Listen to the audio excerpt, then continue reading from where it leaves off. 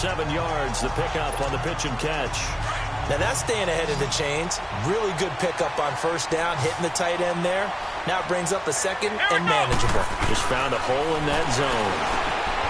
They'll drop the throw. And caught in the end zone. Touchdown, Steelers.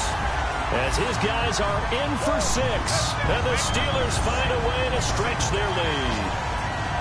And man, Charles, talk about singing something in there. Those gloves, they help with one-handed catches, the fun stuff. Any padding for a rocket like that?